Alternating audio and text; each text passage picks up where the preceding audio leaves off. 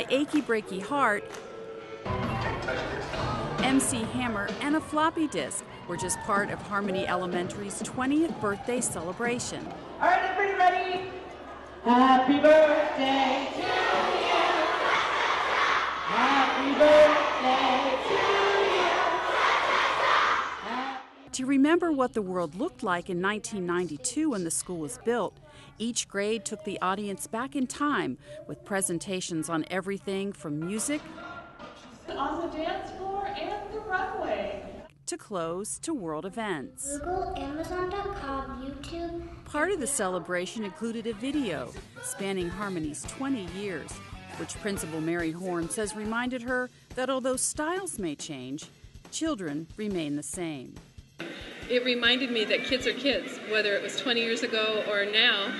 Kids really haven't changed all that much. They're those sweet, happy looking kiddos that um, enjoy having a good time and enjoy learning.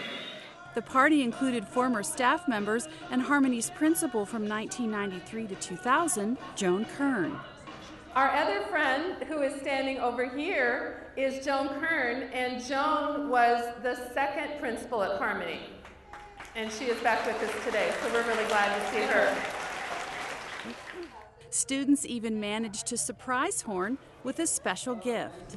In celebration of Harmony's 20th birthday, Miss McCarty and Miss LeBlanc's classes would like to present our art discovery project to Mrs. Horn as a gift. Wow, thank you, fifth grade. I really appreciate that. Horn, who was a kindergarten teacher at the school when it opened, says looking back is important for adults and students alike. Well, I just think it's um, always a good thing to remember where we've come from and, and respect the past and look forward. I think it's good for kids to project themselves um, and maybe for the adults too to think about what do I want the next 20 years to be like.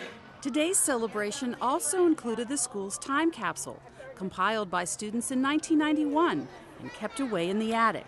Here's a floppy disk from 1992. Horn says the time capsule is a tradition that will continue.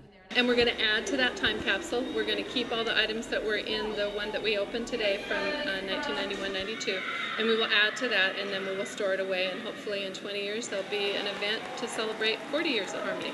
40 years that will bring many changes and memories to the many that will pass through the doors of Harmony Elementary. I just want to say happy birthday, Harmony, and thank you for all the memories that you have given me, and it's just was a wonderful, wonderful experience. Happy birthday! She's up, she's up, she